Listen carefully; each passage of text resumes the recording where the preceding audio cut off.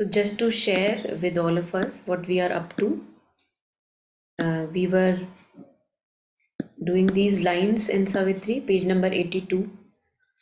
Uh, the last few lines eternity's contact broke the molds of sense.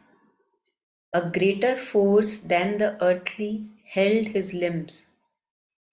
Huge workings bared his undiscovered sheaths. Strange energies wrought and screened tremendous hands. Unwound the triple cord of mind and freed the heavenly wideness of a Godhead's gaze. And on these last three lines, unwound the triple cord of mind, I had shared that there are reflections of uh, on liberation from the sense of body, liberation from heart and mind. And that's what we have been up to uh, reading and reflecting in from the synthesis of yoga. So last time we had started with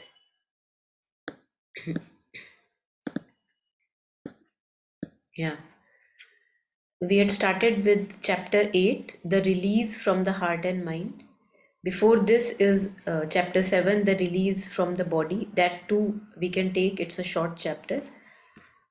And today we'll just continue the release from the heart and mind.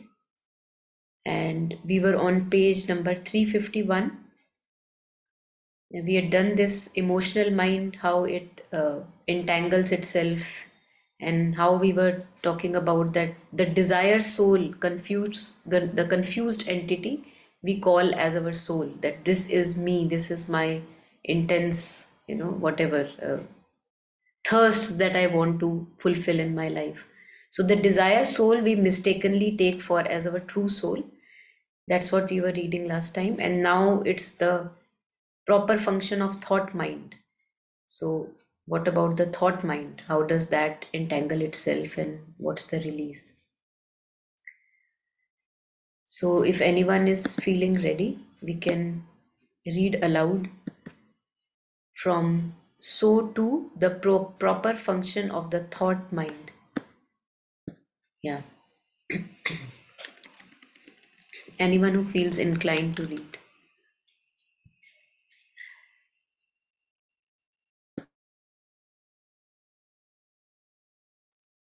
I can try. It's very small in my phone. Okay. So, thank you. So too the proper function of the thought mind is to observe, understand, judge with a dispassionate delight in knowledge and open itself to messages and illuminations, playing upon all that it observes, and upon all that is yet hidden from it, but must progressively be revealed. Messages and illuminations that secretly, secretly flash down to us from the divine oracle, concealed in light above our mentality, whether they seem to descend through the intuitive mind or arise from the seeing heart. But this it cannot do rightly because it is pinned to the limitations of the life energy of the senses, to the discords of sensation and emotion, and to its own limitations of intellectual preference, inertia, straining, self-will, which are the form taken in it by the interference of the desire of this desire mind, this psychic prana.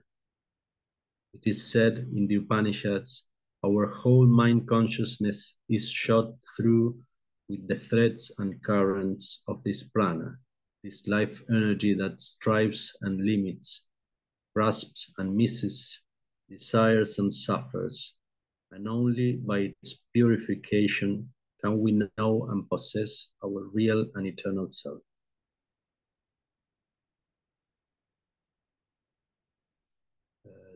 Do I follow? Or?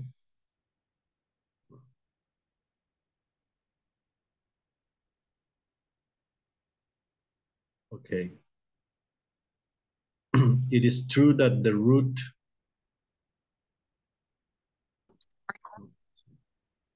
do you want me to follow or?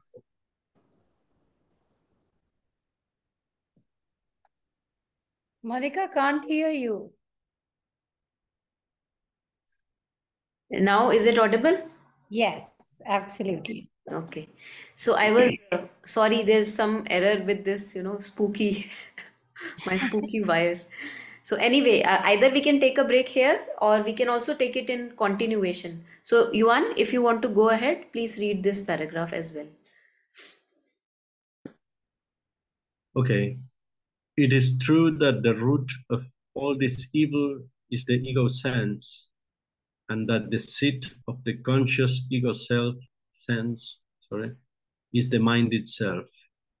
But in reality, the conscious mind only reflects an ego already created in the subconscious mind in things, the damned soul in the stone and the plant, which is present in all body and life, and only finally delivered into voicefulness and wakefulness, but not originally created by the conscious mind. And in this upward procession, it is the life energy which has become the obstinate knot of the ego. It is the desire mind which refuses to relax the knot even when the intellect and the heart have discovered the cause of the ills and would be glad enough to remove it. For the prana in them is the animal who revolts and who obscures and deceives the knowledge and coerces their will by his refusal. Yeah, thank you. So this is again, you know, as with every word and line of Mother and Sri Aurobindo, very, very powerful. And often just the lines that are in front, often you would have seen, you know, many a times we understand theoretically that you should let go. We understand that we are too sticky, we have to become non-sticky. But even then, we are finding ourselves asking the question, yes, yes, I understand and get what you are saying. But how do I let go?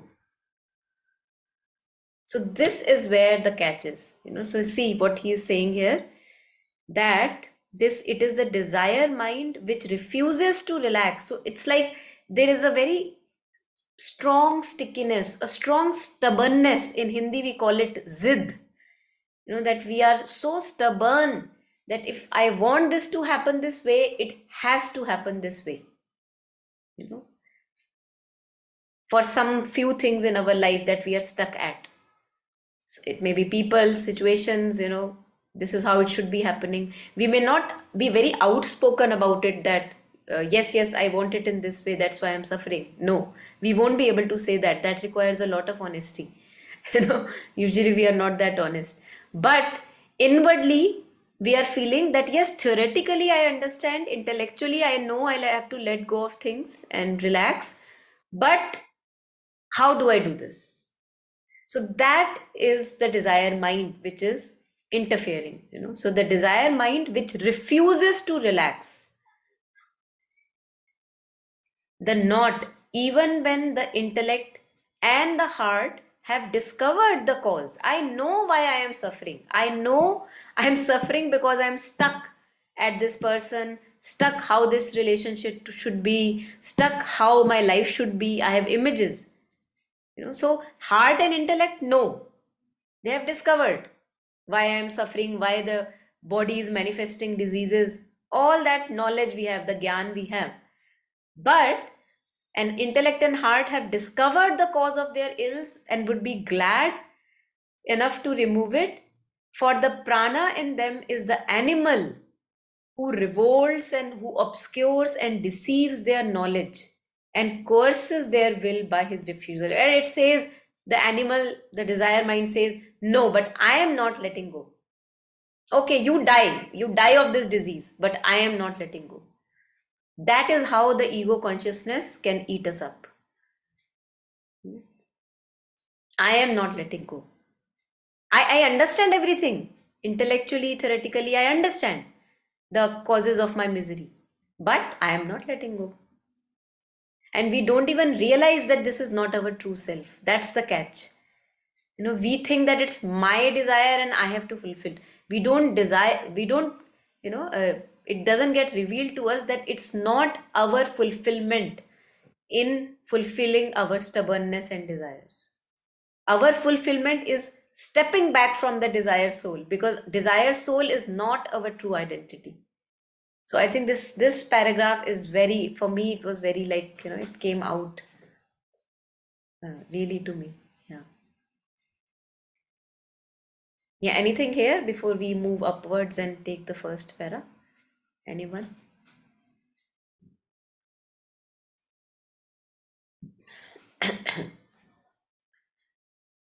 It's like you know uh, if my hand is in fire and i know it is fire and it's burning shall i need to ask anyone i know it is in fire and i know you are telling me that i should remove it but how do i remove it i would not be asking it's like it's a natural reflex that i see my hand in fire i see the hand is paining it's burning and if i want to save my life i have to remove it so I won't be asking anyone, yeah, I see my hand is in fire.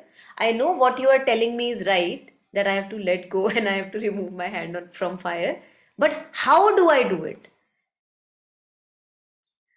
When I am asking this question that how do I do it, then I don't know that my hand is in fire. It's not fire in front of me. There is some promise still that that you know whatever looking image in front of me in which my hand is holds that something it will give me some fulfillment it will give me because it's like you know it's like fooling ourselves we are fooling ourselves all the time really? And it's because of this and now Sri Aurobindo makes this very very clear that it's because of this desire mind that we are fooling ourselves. The stubbornness of the desire mind that no i am not letting go. Know so it's it's a kind of a very we see our stupidity here. You know that the very fact that i am asking that how do i remove my hand from the fire means that i don't see the fire. It is not yet fire for me. It is still some sweet honey like you know kind of a emulsion for me in which my hand is lying. And i am thinking yeah one day it will yield me some fulfillment. It's not yet fire for me. Because it if it was truly fire for me then it would not even take a second for me to remove my hand. I would not be keeping asking for you know that oh i know it is fire but how do i remove my hand that would not be happening. So and here is the root cause Sri Aurobindo says that it is the desire mind which is refusing. It is hell bent that no no it has the fulfillment has not come so far but never mind it will come it will come from this very source. You know and we keep dipping our hand in the fire and the whole body gets burned. We get all kinds of diseases you know we we are informed by the body that we are taking a way which is not right for us but we don't listen to that information. And then we say to ourselves that yes i do understand this but how do i do it? So i think this is how we really each one of us we fool ourselves at our stubborn points. Refusing to relax yeah very powerful this one i think it was very revelatory so we just take it from the starting it was i just could not help myself you know taking it up so just uh, taking the first paragraph that you read. So too, the proper function of the thought mind. Now, you know, we, we see that we are thinking all the time, right? We are thinking. The purpose of thought mind is, Sri says, to observe. That is why the tool is there. It is to observe, understand, judge with a dispassionate delight in knowledge and open itself to messages and illuminations, playing upon all that it observes and upon all that is yet hidden from it but must be progressively revealed. You know so seeing beyond the appearances. And that's why this tool of thought mind is there. But most of the times we are abusing the thought mind. All of us know that. We are ruminating regurgitating upon things where there is no need of thought mind to indulge. No need at all. Like i'm crossing a road you know so the thought mind is required sense mind is required. Okay a truck is coming. Okay this is the way i take. You know i have to go left i have to go right. In these many seconds i have to cross. So all that observation the judgment the understanding is because of thought mind. You know and it's it's a one has to be really grateful because we don't realize how grateful we can be that our thought mind is operational. Because again one misfiring in the brain one you know some something wrong in the brain thought mind not able to function well not not function properly. So we can't take it for granted that it's there you know. It can go away any moment. But you know, most of the time we are just abusing the thought mind and he's sharing how we abuse it. So first the function of thought mind is to observe judge understand whatever is the front appearance and then also what is behind the appearance. That also is illumined to the thought mind if it's silent yeah progressively be revealed messages and illuminations that secretly flash down to us from the divine oracle concealed in light above our mentality whether they seem to descend through the intuitive mind or arise from the seeing heart. So it doesn't matter whether they seem to come from here or above, but you do get flashes of higher knowledge. Knowledge which is not a product of logical analysis, not a product of analytical reasoning. Hmm? And that's why Sri Aurobindo says that the mind has to become like a receptacle to receive the higher planes of mind, higher mind, illumined mind, intuitive mind. And I think Albert Einstein also said that the same mind that has created the problem cannot solve the problem. So the resolution of the problem comes from some higher plane. It's not the exact logical analytical mind that has the problem that will solve the problem. We get the resolutions from somewhere else. We don't know what that somewhere else is. Hmm? but this it cannot do rightly why can't we resolve you know why can't we get these illuminations insights intuitive resolutions?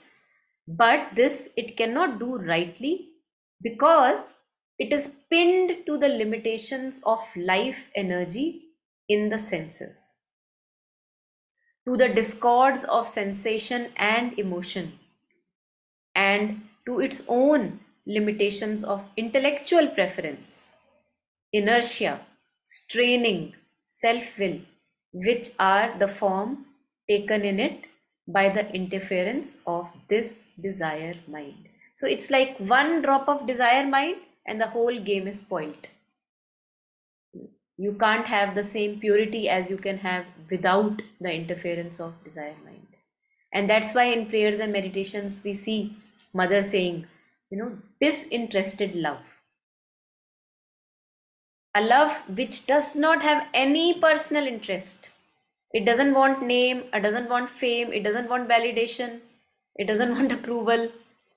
It's very happy without whatever action it has taken also. Inwardly there is contentment there is uh, fulfillment.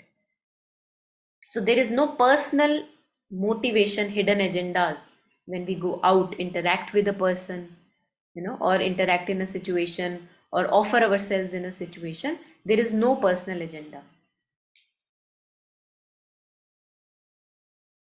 Yeah so this is how we i think sharing that how we uh, spoil or malign the instrumentation of thought mind. We impurify it. As is said in the upanishads our whole mind consciousness is shot through with the threads and currents of this prana. So you know it's like a creating a very visual imagery. Like you have you know those laser lights you have seen that go very far. So it's like there is vast space in which laser lights are like just thrown in every direction. So that's the desire mind threads of desire minds which is just maligning the tool of thought mind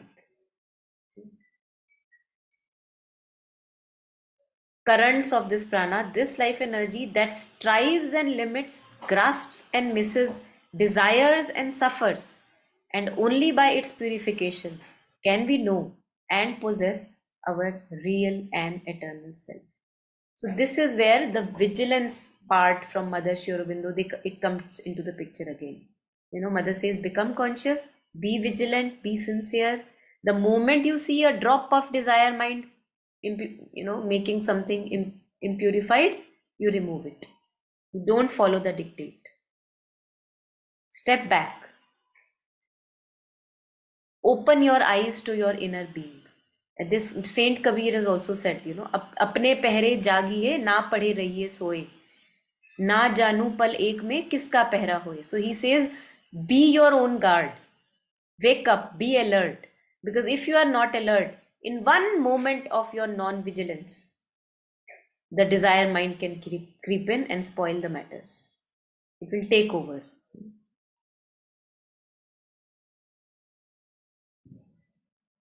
Yeah, so any uh, reflections, anyone? Before we will take the second paragraph again also.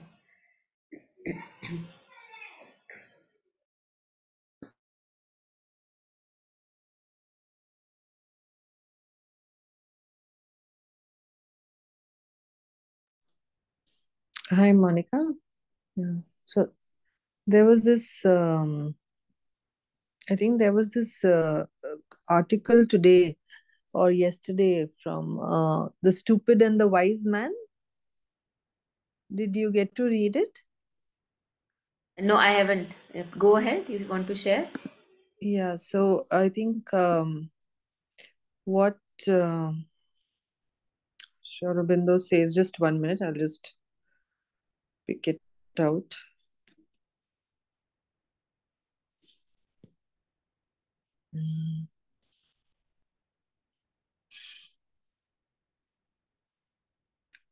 So, I mean, not, I think, like when you said the, the previous paragraph, right? Like how we, we stick to things and we are constantly, we don't want to let go. So he says over here in, uh, it's from the mother and so have you ever seen a wise man and a stupid man in conversation?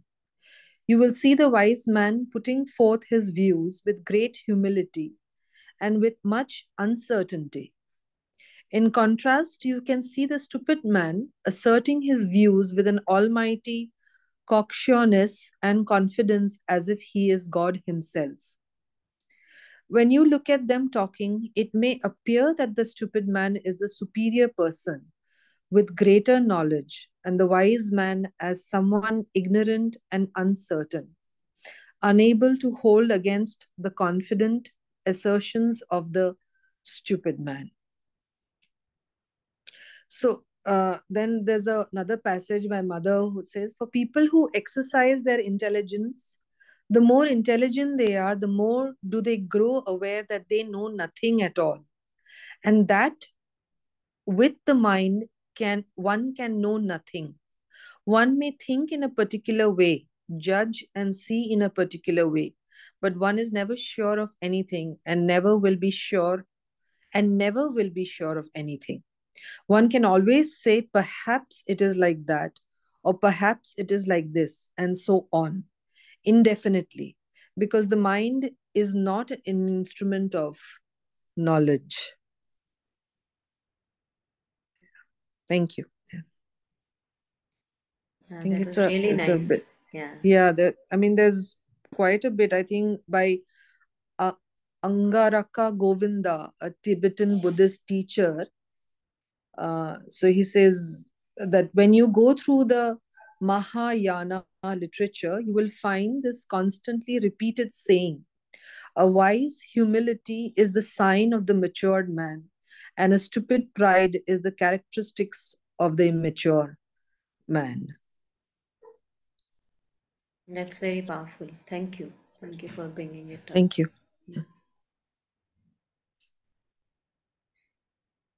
I like also the line that you shared in between that uh, uh, to an external eye, the wise man uh, would appear that you know he's not really he doesn't know much because he's unsure Yeah. about uh, you know whatever he's sa- Yeah. sharing Yeah. and Yeah. yeah yeah that's also very Because this, uh, this, the way, I mean, you know, sometimes like we are, I mean, yeah, I have had it in times in my life where, you know, sometimes are just so, you think that they're so certain, right? I mean, without any, uh, without any doubt in your mind that you think that, oh, uh, this certainty is going to sort of last or this permanency is going to be there and um, you don't think at that point you know this could be you know beyond um whatever.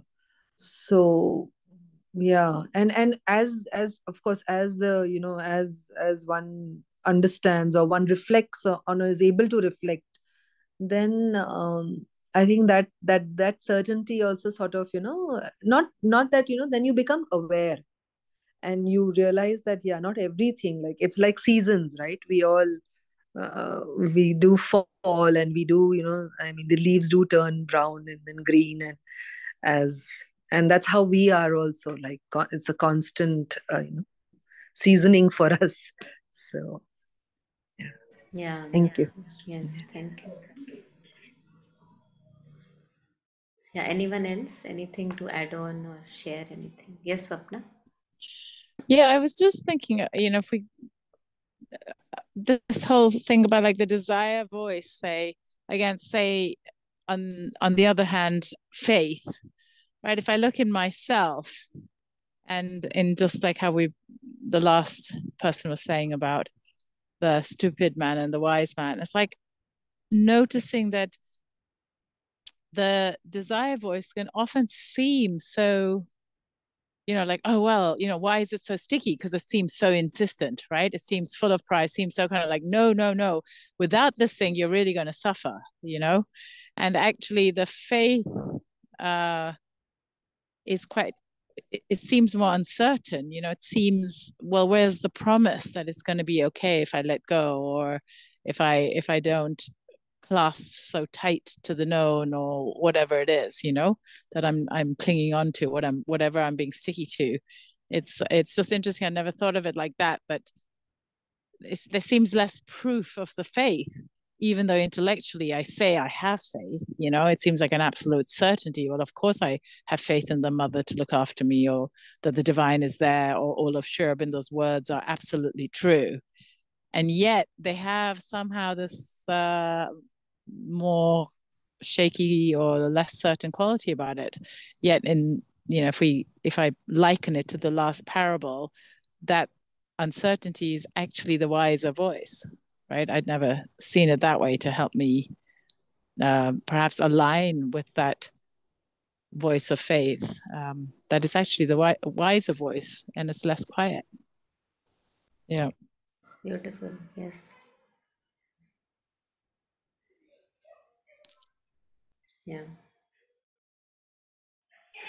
Like anyone even else today, what you shared, right? Uh, I think this morning or yesterday morning, uh, Monica, what um, Sri Aurobindo has told Ni- Nirod, Nirodha, right?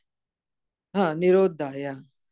But within there is a soul, and above there is, uh, um, yeah, above there is grace. This is all you know or need to know. So, but i would say to Sri Aurobindo no no that is okay. But, yeah, but what about this? Yes, that's what. yeah i know within there is a soul and above there may be grace. there is, that's okay you know? You can leave that yeah, aside. But what about this that i am you know sticking to? Exactly. No, it's so like uh, your day to day, whatever. I mean, your thoughts and you know your day to day is like a timetable, right? I mean, it sort of just um takes over your. It's like uh, like how this morning when you say, I mean, you also send that ajancha, right? i mean you come back to the no matter what you come back to it you come back to the body but how how you know like when you're actually standing do you know you're standing? Do you, when you're sleeping do you know you're lying down? And um, yeah it it is it can be quite a bit of a not a challenge but that bringing yourself back again and again to the you know the present moment. And yes and then knowing that yes god is there and i mean there is you know the larger being and grace is there and the soul is there but yeah and to remind yourself uh, every i think every second of uh, the day that you you know sort of live sometimes it's yeah everything just goes out the window and then you know you're just right yeah yeah i think this is also i believe is it's my arrogance which would say yeah i know what you are saying mm. you know have you seen that you know so if somebody is presenting this quote in front of me that within there is a soul and above there is grace mm. something in me says oh yeah i know this you know. What are you talking mm. of? Mm-hmm. i know this is mm. there but what about this? So i think hmm. that's also my arrogance which stops me from really you know understanding in the depth of things. And also the stickiness you know what we were reading the desire mind yeah. which is just refusing that no yeah there may be soul whatever grace but i am not letting go. Forget about it. So yeah yeah. Mm, divine comedy. divine comedy. yeah. Yeah. Thank you. Thank you. Yeah. So we were here. Anyone, any further comments on this first paragraph? So we just saw that how uh, the thought mind gets kind of maligned and uh, it gets of gets impurities of several kinds through this interference and poking of desire mind. And also we have to know that even if it's one drop of poison it is poison. So i can't say that uh, no i have grown see my desire is only 1% you know so that would because if i give you a glass of water which is earlier a potable water you know you can drink it drinkable water and i say yeah earlier i had put 10 drops of drain water in it but now there is only one drop of drain water. Doesn't matter drink it you know. Drain water is drain water. So it's like that that impurity is impurity. It doesn't matter larger impurity or lesser impurity. And that's what each one of us has to be vigilant of. You know that yes i see within me and i could sense that unease the moment i sense that impurity and through that unease we keep stepping back from that impurity of desire mind. So any desire whether 3% 4% 1% 0.1% is a desire. You cannot say that it's not a desire. Poison is still poison. Many a times we keep uh, consoling ourselves that see I, my desires have really reduced. Yeah. Good to fool ourselves we are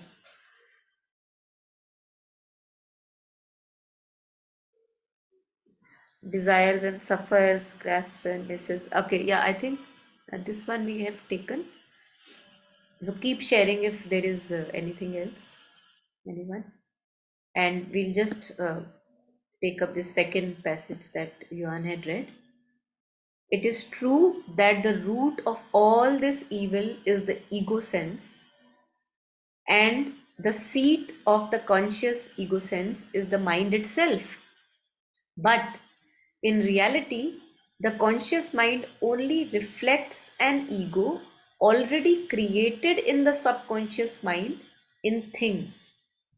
The dubbed soul in the stone and plant, which is present in all body and life, and only finally delivered into voicefulness and wakefulness, but not originally created by the conscious mind. So I'm not sure uh, this second half is very clear. So if anyone has clarity on this, you can share.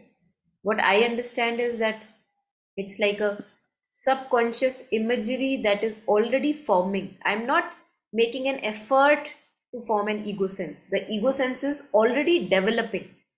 It's like a default mechanism. No, I'm not putting effort in making an ego sense. So that's why he shares that in reality, the conscious mind only reflects an ego sense already created in subconscious mind in things. And then he further, yeah. Because as we see in a so in a plant in a stone, you know, you can't say that it has an ego. But according to this, what I see, it's like it has already started forming, but it can't voice itself out.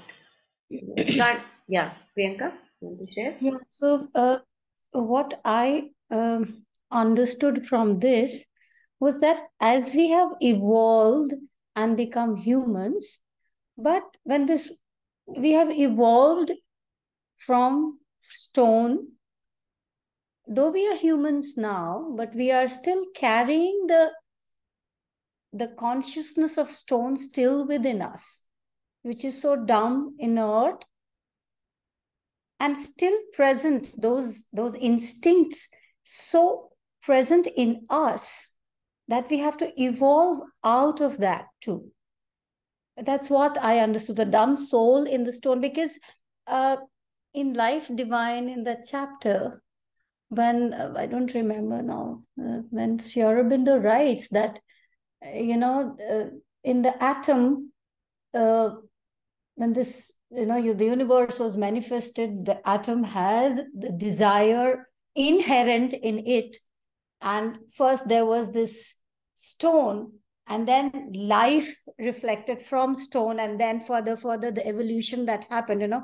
I'm not so clear about it right now but i read it a long time back. So uh, this from this i understand this only that the dumb soul in the stone and the plant, which is present in all body and life, and only finally delivered into voicefulness and wakefulness, which means the humans who have the the you know who are who have a voice, who have an uh, uh, uh, an awakened consciousness. We have it in us. It's just that it is still sleeping.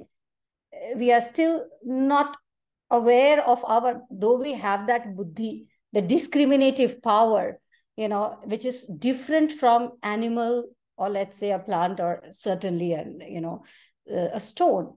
But that conscious, because it says that even though the seat of the evil is the conscious mind, is the mind, but that which is present, that we that we function with ego today in, in our current life is actually coming from the subconscious, which is deep inside, which we are carrying as we have evolved from a stone because, you know, it took many years, millennia for, uh, for a stone to evolve, let's say maybe not a stone evolved, but whatever evolved, maybe a stone evolved into a blade of grass.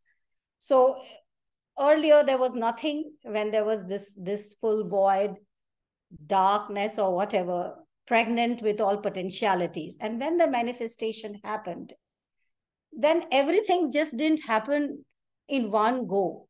But there was a progressive evolution from a stone to this to the plant to the simplest life forms, animals, unicellular, to more evolved forms, to multicellular, and then to even in multicellular from animals to humans with a discriminative intellect though we have evolved, the, uh, uh, the matter has evolved from a stone to this human, but yet the consciousness in us, the sub, the, the ego that is present in us, we are still carrying that of the of the stone. You know.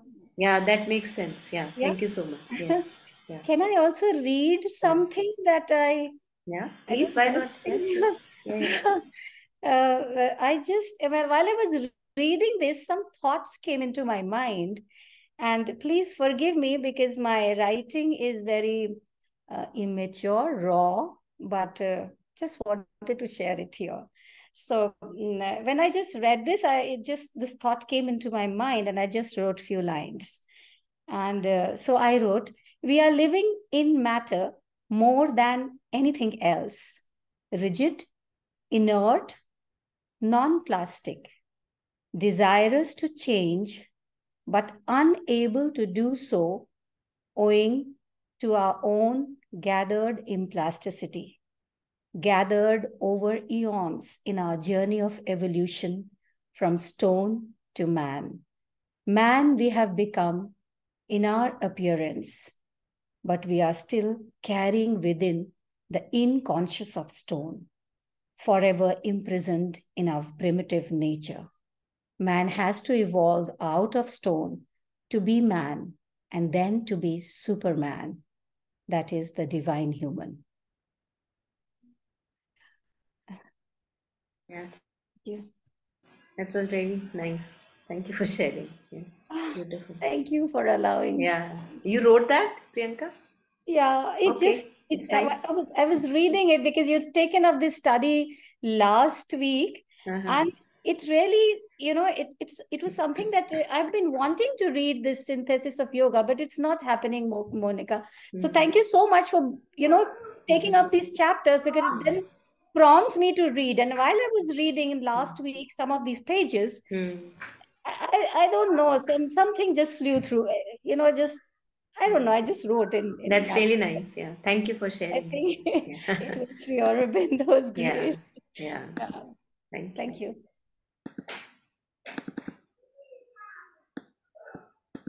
Yeah, anybody, anything here until here?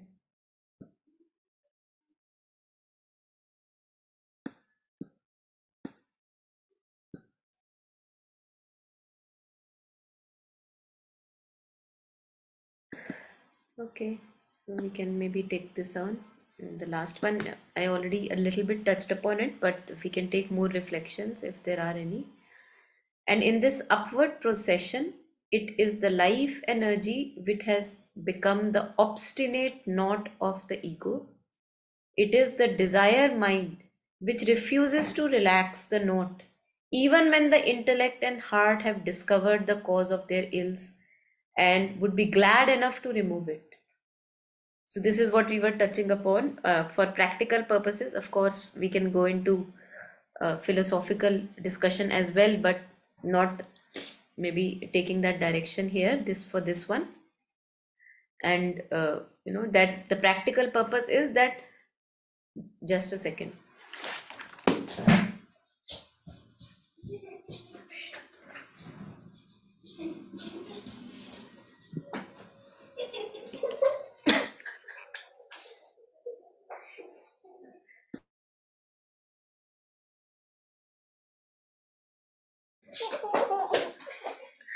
Sorry for this. Just a second.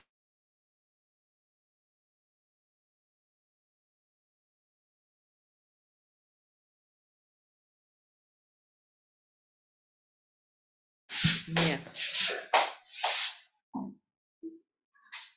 Yeah, so I think for for practical purposes, what I understood, and of course we can take up more reflections, is that intellectually I may be understanding that this is not good for me, sticking and you know attaching to things and becoming too rigid and non-plastic as uh, Priyanka was sharing. But uh, then I ask myself, how do I do it? You know, and that's because I am stubborn because what I want is what I really, really want, and I'm not going to be happy if I don't get that. And that's the desire mind, which refuses to relax the knot, even when the intellect and heart have discovered the cause of their ills and would be glad enough to remove it. For the prana in them is the animal who revolts and who obscures and deceives their knowledge and coerces their will by his refusal in animals we can see their you know their territories for example you know so that as priyanka was sharing we are carrying that consciousness within us and how dare you come into my territory? And there can be fights and people can kill each other even you know in chimps when we were reading works of jane goodall we were uh, re- hearing that they also have like categories and groups and uh, there was a war going on between certain groups and they were killing each other that how dare you come into my territory? So we also you know, uh, carry that same consciousness which refuses which revolts and obscures and deceives the knowledge of heart and intellect and overrides it and coerces their will by his refusal and the animal is saying no You may die, the body may give up, you may have 10,000 diseases, but I am not going to let go of my stubbornness. That's the stubbornness of the desire mind. Yeah, anything here?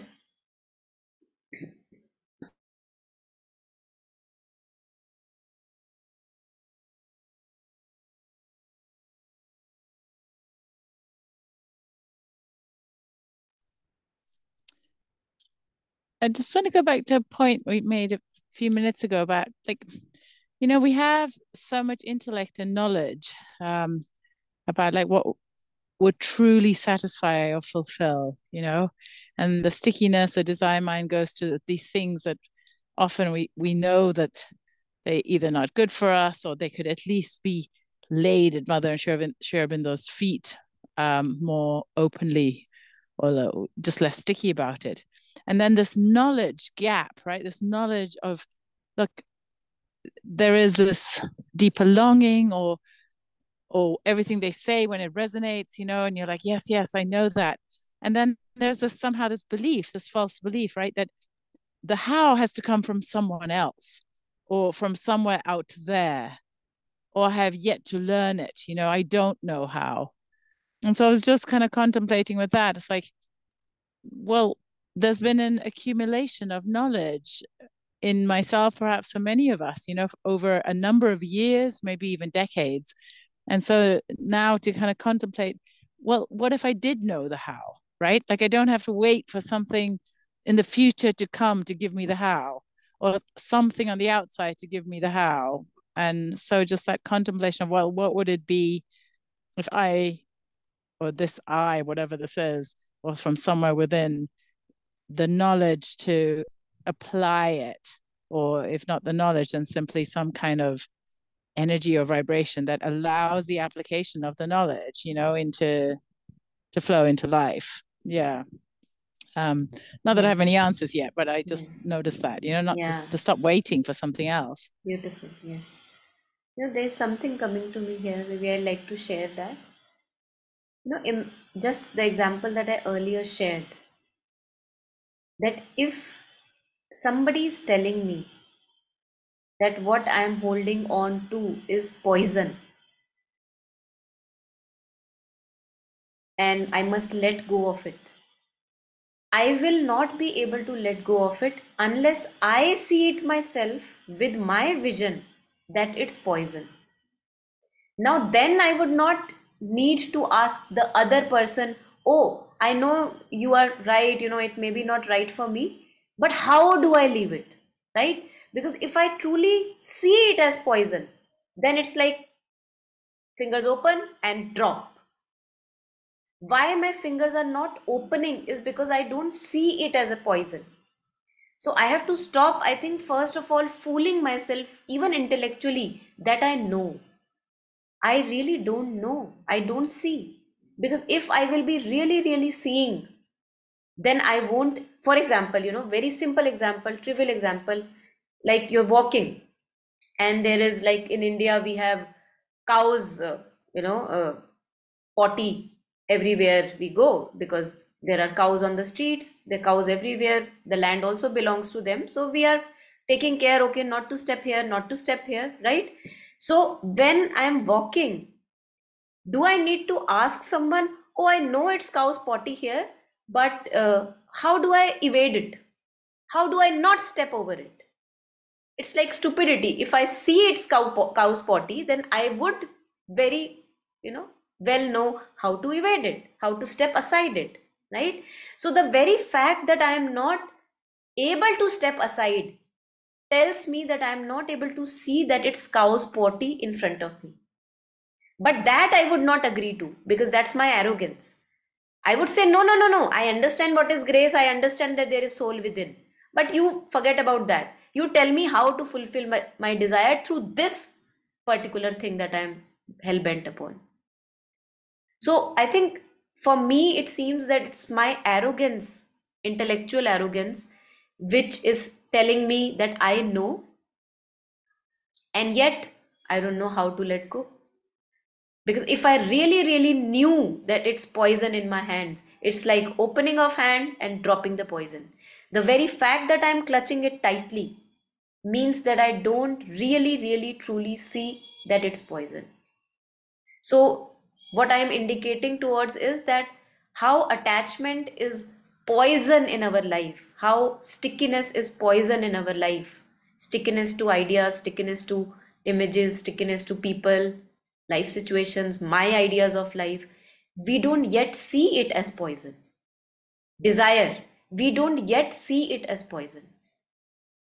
If if that revelation comes to me that yes it is oh i clearly can see it ruins my life i would not be needing to ask somebody else okay how to do it. You know i think that's for me i see that the moment i see behind the appearance of desire that no this is really poison for me for the other person it's poison. That's why i would not like to hold it. Immediately my hand opens and the poison falls. Before that i can't see that it's poisonous. Before that i may think that i know it is bad for me. That's why i have to keep asking everyone oh how do i leave it? How do i leave it? If i truly truly knew you know for example people who eat meat i'm not against you know people eating meat. If you if the body permits people must eat meat. But many a times if we want to leave we are not able to leave. What really helps is that you go to a butcher shop you know and you see it happening in front of your eyes. And then if you can eat it okay eat it you know.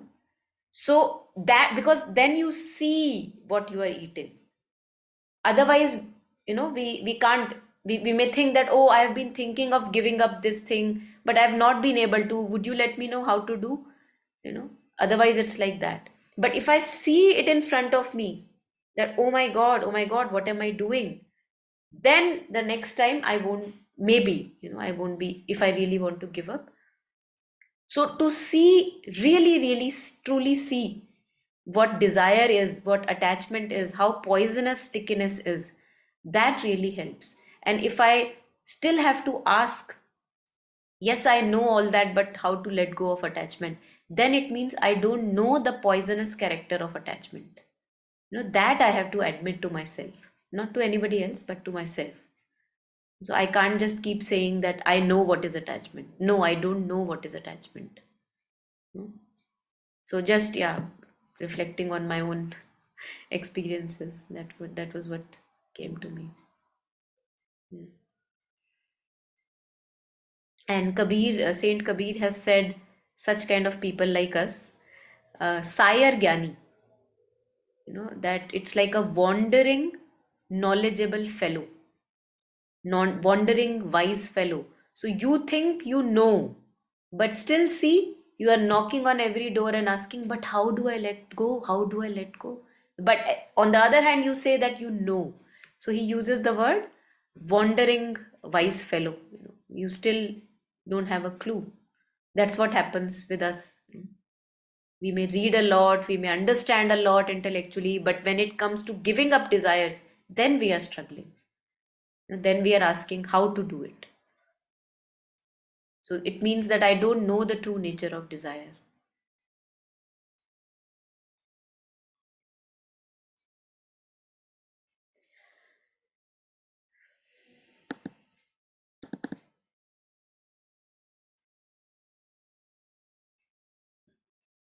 Okay so this is a big one. Mm, can maybe take it yeah today also yeah what do you say the next paragraph shall we take it today or maybe leave it here anyone any thoughts Yeah.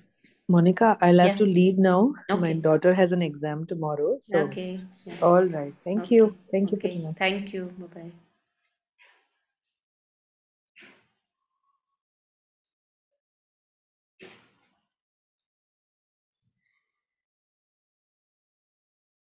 Hmm.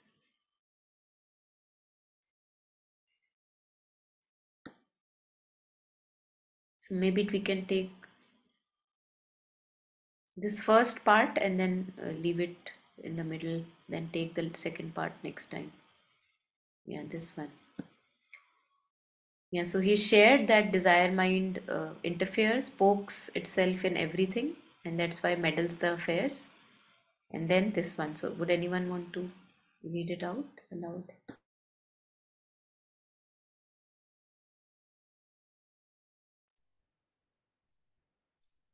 Therefore, the mental Purusha has two, sorry, mental Purusha has to separate himself from association and self identification with this desire mind. He has to say, I am not this thing that struggles and suffers, grieves and rejoices, loves and hates, hopes and is baffled, is angry and afraid and cheerful and depressed, a thing of vital moods and emotional passions. All these are merely workings and habits of Prakriti in the sensational and emotional mind. The mind then draws back from its emotions and becomes with these, as with the bodily movements and experiences, the observer or witness. There is again an inner cleavage. There is this emotional mind in which these moods and passions continue to occur according to the habit of the modes of nature.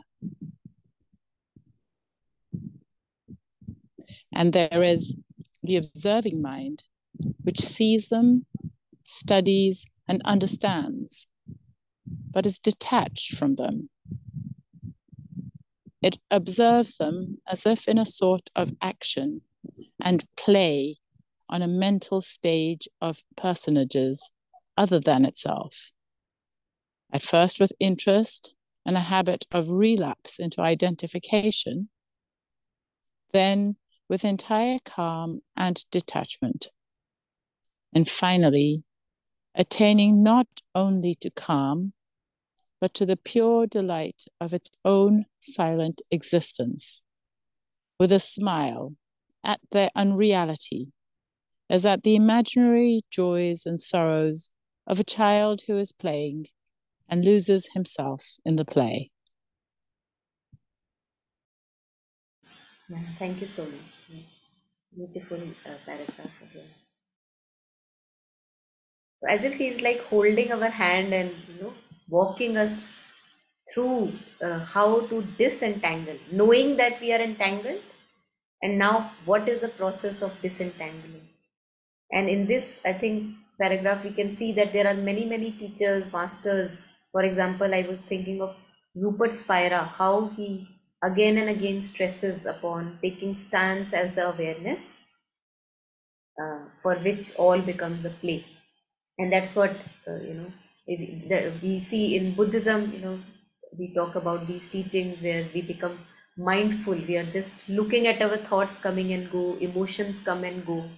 And it's like a play in front of that witnessing awareness. And that is how you step away and disentangle like there is a gap now from the you know, happenings and the awareness like there is a big gap.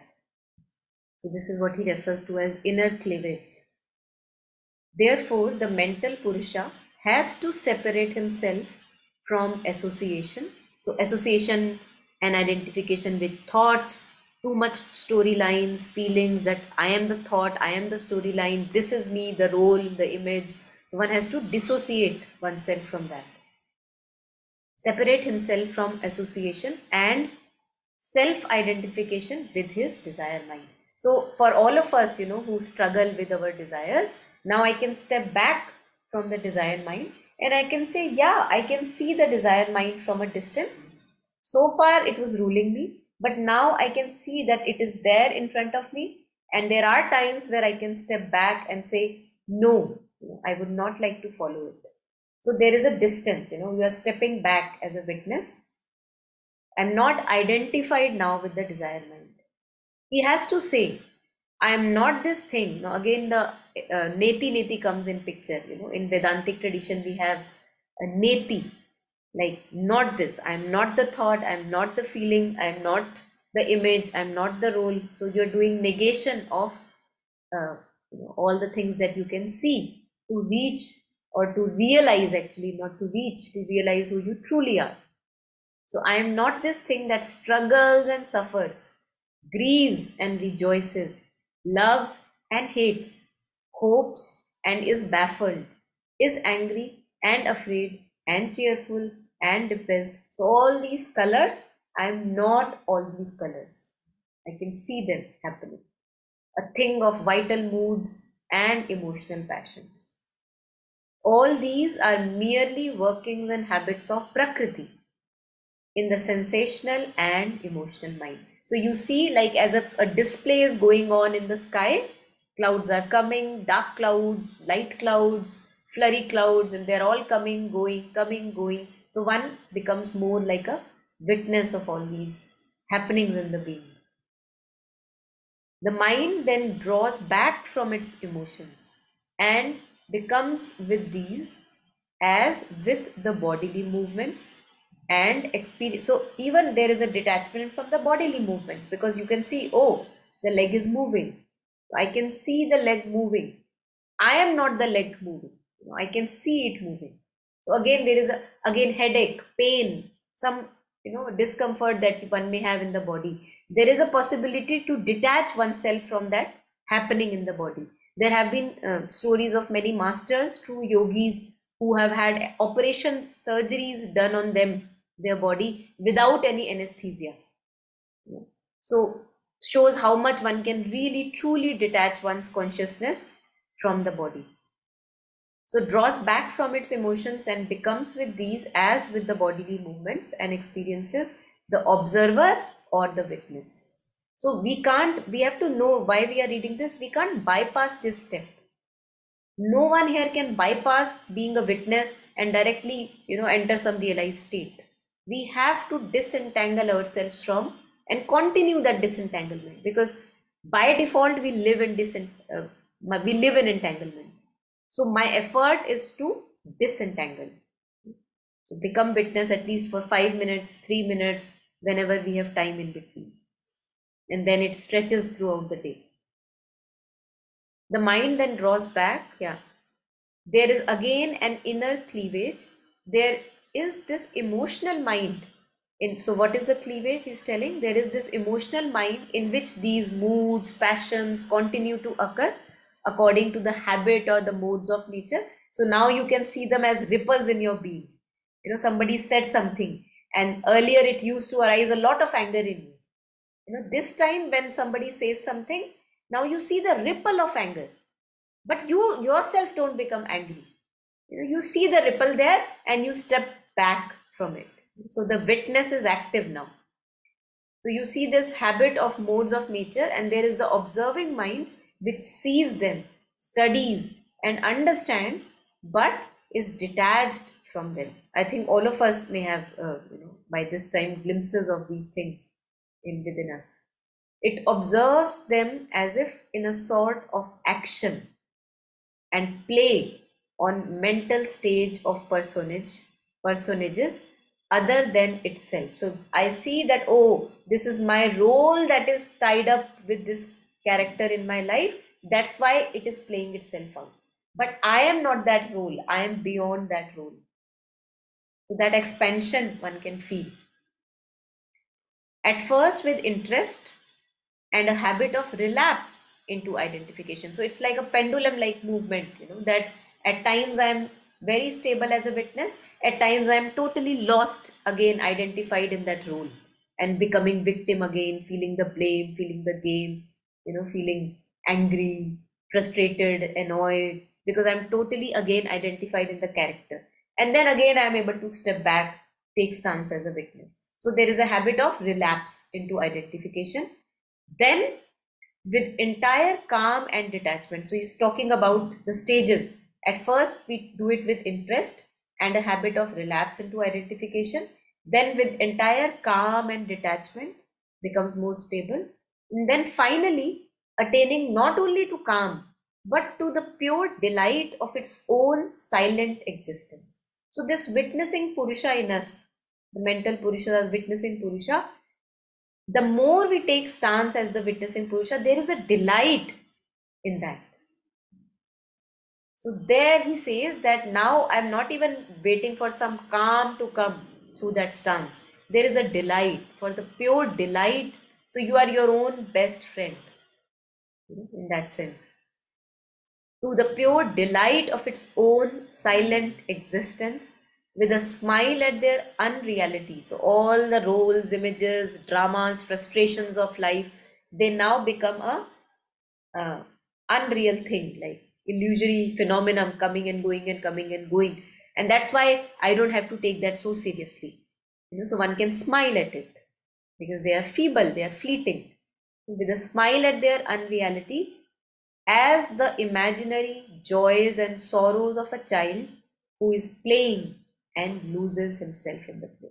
You know, this we have seen with little children, how in a moment of a play they become very obsessive and then they let go the next moment, then again becoming very, you know, stubborn for something which is just a toy. Now, for a parent, it's just a toy, but for a child, it would have mattered a lot. So the child has lost itself in the story, the toy, the game. Yeah. But now, the more we take stance as this witnessing Purusha, there is more chances of you know a calm stability and pure delight. So maybe next half we can take next time. Yeah. So anything here? Anyone?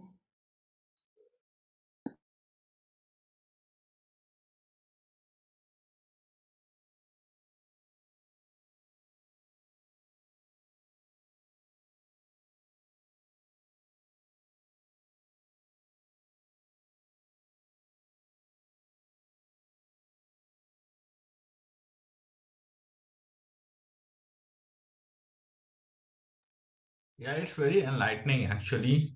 In the Bhagavad Gita, how they say that the self is the best friend of the transformed self, and, and it's the worst enemy of the regenerate self.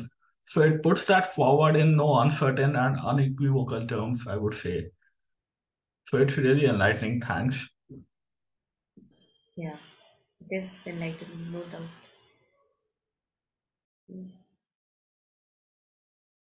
Okay, any last comments before we end? Anyone?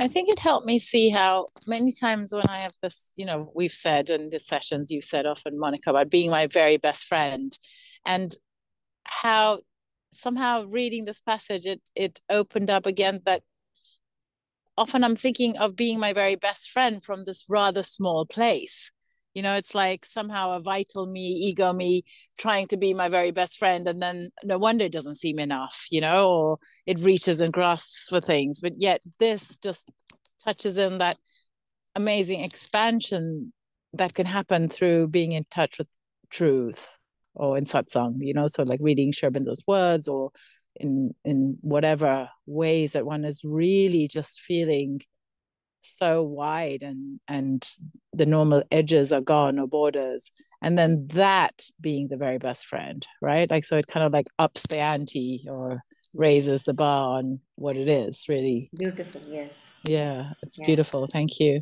That's a very good observation. Yeah, thank you for sharing. Yes. Great. Okay. So I think we can maybe take a pause here for today and next time we can take up the next half. So thank you everyone. And before we end, for those of us who are left, maybe we can send a silent sharing of merit, uh, taking a moment and sharing this merit, joy and delight of reading these words, the expansion that we feel within ourselves. May all of us partake of this expansion, joy, and delight. May we have peace in our hearts and joy and progress in lives.